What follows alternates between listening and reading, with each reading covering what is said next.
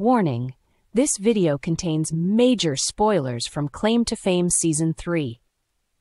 Today, we dive into the thrilling world of Claim to Fame Season 3, where contestant Dedrick has recently let slip a hint about his true identity, one that links him to the legendary Michael Jackson.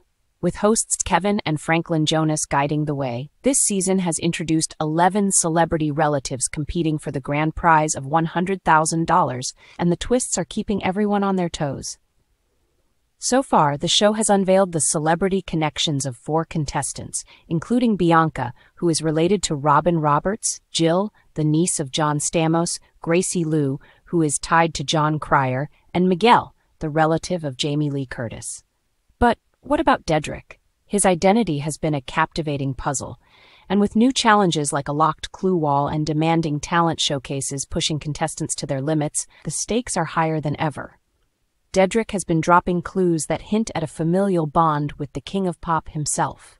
His first revelation came during the Two Truths and a Lie game, where he said, My uncle is one of the most famous and iconic people in the world. I've never had to hide it before. This got the contestants buzzing.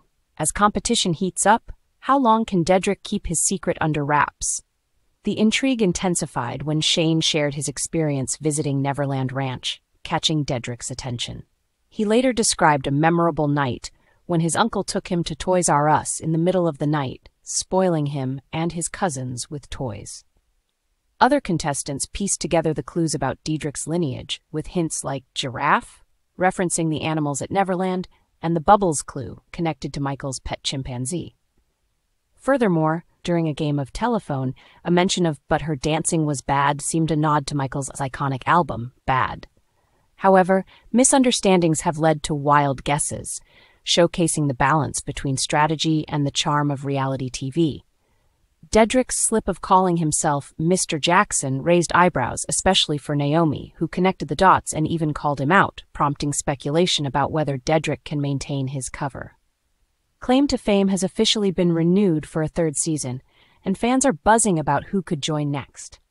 Meanwhile, the reveal that Dedrick is actually Siggy Jackson, the son of Jackie Jackson of the Jackson Five, adds an electrifying twist to the season. His connection to the Jackson family not only highlights the rich history of its members, but also opens the door to countless clues and strategies in the show.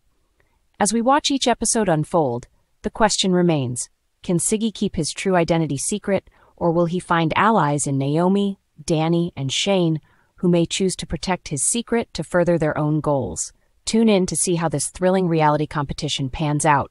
Catch Claim to Fame every Wednesday at 9 p.m. EDT on ABC and join the conversation about who you think will come out on top and what celebrity relatives we're yet to meet.